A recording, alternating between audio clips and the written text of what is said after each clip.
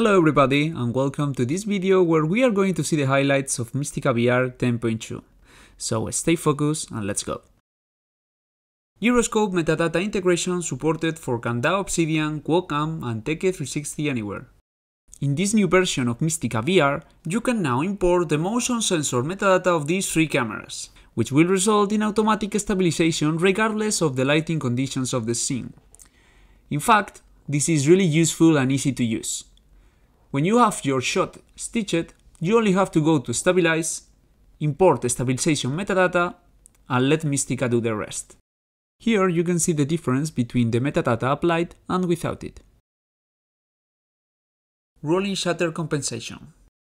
This new feature will significantly improve the results when applying stabilization in post together with stitching.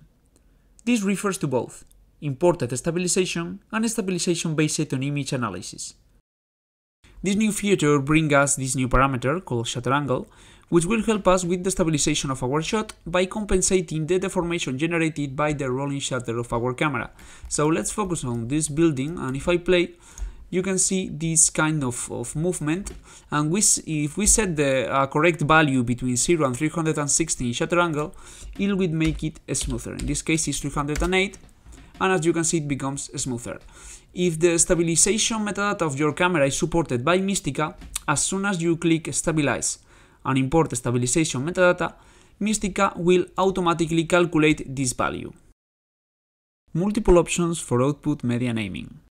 Rendering functionality of Mistika VR has now been expanded to include multiple options for output media naming. To use this feature, simply go to File, Render, and as you can see here, you can choose between segment index, source name, render name, and one or two folder apps.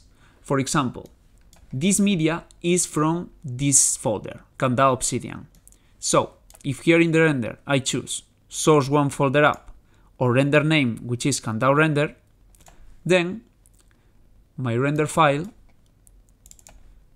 it is going to be Kandao Obsidian, which was the folder name, and Kandao Render, which was the render name. It is your lucky day if you're a Windows user, because in this new version you will also notice a significant performance boost. Users running Mistika VR on Windows will notice this in two aspects.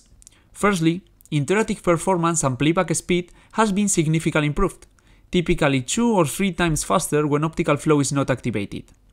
Also, Render speed on Windows may improve considerably for renders without optical flow, most of VR 180 or preliminary VR 360 renders. PTGui Import now accepts cameras with lenses in rectilinear mode.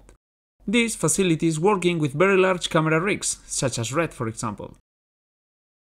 Finally, we have added some new camera presets, for example from this one, Teche 360 Anywhere.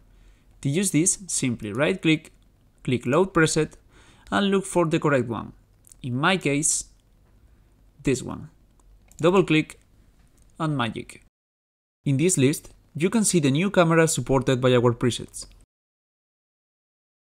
These are some of the main improvements and new features of this new version of Mistika VR. For more information, please visit our website. Consider subscribing if you want to keep up with the news about Mistika VR. Thanks for watching and enjoy Mistika.